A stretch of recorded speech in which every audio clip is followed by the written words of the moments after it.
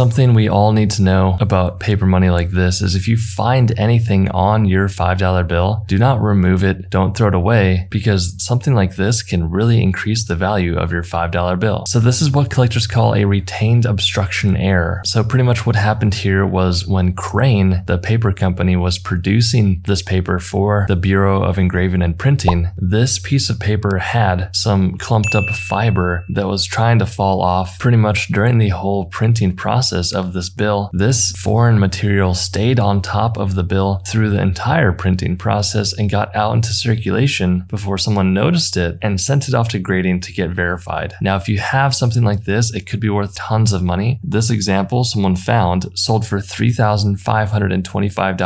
YouTube has a complex algorithm and they know exactly which video you should watch next. And that video is up on the screen right now. So click on that video and I'll see you inside.